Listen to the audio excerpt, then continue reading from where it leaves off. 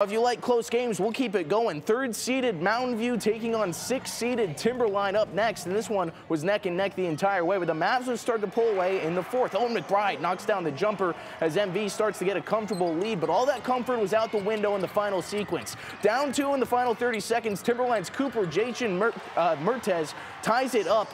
But Mountain View's Logan Hosvet is there to answer back immediately. There he is on the drive, nails that one with 0.6 seconds left on the clock. Now, the buzzer beater attempt from T-Line is so close, but Mountain View wins it 40 to 38 as the Mavericks take down, will take on Meridian tomorrow in the 5A semifinals.